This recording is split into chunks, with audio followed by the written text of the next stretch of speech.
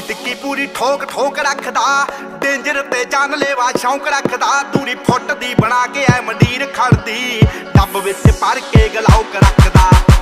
ਟਿੱਕੀ ਪੂਰੀ ਠੋਕ ਠੋਕ ਰੱਖਦਾ, ਡੇਂਜਰ ਤੇ ਜਾਨ ਲੈਵਾ ਸ਼ੌਂਕ ਰੱਖਦਾ।